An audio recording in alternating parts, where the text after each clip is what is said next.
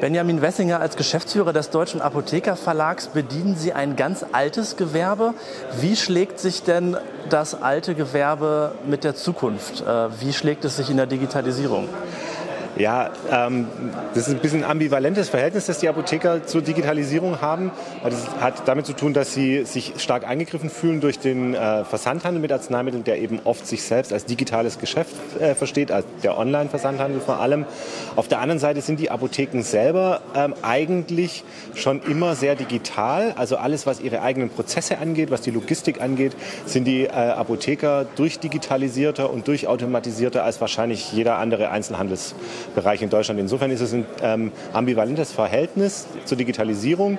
Was wir zumindest feststellen können, ist, dass in der Mediennutzung ähm, dieses auch so ähnlich ambivalent ist. Zum einen werden weiterhin die traditionellen Fachzeitschriften gelesen, wir verkaufen weiterhin viele Fachbücher. Auf der anderen Seite äh, wollen die Apotheker moderne digitale Produkte. Sie lesen online, sie lesen auf dem Handy, sie wollen Webinare, sie wollen E-Learnings haben. Also auch da einfach die, die ganze Mischung.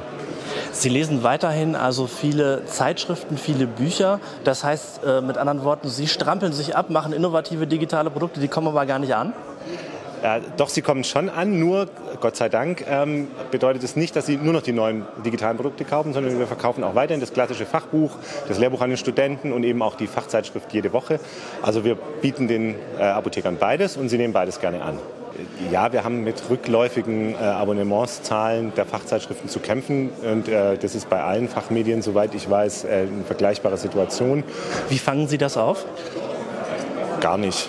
Also wir, wir, versuchen alles, äh, neue Abonnenten zu kriegen. Wir haben nicht so sehr das Problem, dass die Leute tatsächlich Abos abbestellen, sondern wir haben eher das Problem, dass äh, Leute, die heute in den Beruf kommen, nicht mehr automatisch eine Fachzeitschrift abonnieren, wie sie das früher getan haben. Und wir versuchen alles Mögliche, um sie davon zu überzeugen, dass sie von so einem Produkt profitieren können. Aber es gelingt uns ehrlich gesagt halt, naja, nur so mittelmäßig. Wenn Sie äh, fehlende Abonnenten oder rückläufige Abonnenten nicht auffangen können, in welche Geschäftsfelder investieren Sie dann, um zumindest den Umsatz stabil zu halten? Ja, zum einen, äh, der Umsatz lässt sich stabil halten, äh, zum Beispiel, also wenn es um, um Abo-Erlöse geht, man kann Preise erhöhen. Das ist eine Strategie, die sich aber natürlich irgendwann selber begrenzt, weil die Preise irgendwann zu hoch werden wir haben das, äh, den Vorteil, dass wir ähm, bei den meisten Zeitschriften, die wir haben, auf zwei Säulen stehen. Wir haben die Abo-Erlöse und die Anzeigenerlöse und hatten in den letzten Jahren bei den Anzeigenerlösen gute Jahre, sodass der Rückgang bei den Abo-Erlösen nicht ganz so schlimm war. Ähm, ja, und wir investieren schon massiv in die digitalen Produkte im Moment. Das Was läuft da besonders gut bei Ihnen? Also wirklich äh, äh, imposante Steigerungsraten haben wir bei unserem wichtigsten äh, Portal für Apotheker, DATS Online. Das ist das Online-Portal der Deutschen Apothekerzeitung mit News für die Apotheker, wo wir ähm, in den letzten, wo wir seit 2016 die Zugriffszahlen fast verfünffacht haben.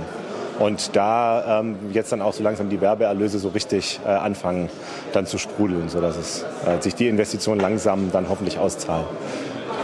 Als gelernter Apotheker und als promovierter Pharmazeut äh, kennen Sie sich mit Medikamenten aus. Was ist die Wunderpille für die Fachmedienbranche? Oh, das, wenn, ich, wenn wir die äh, gefunden hätten, dann würde ich es Ihnen, glaube ich, nicht verraten jetzt.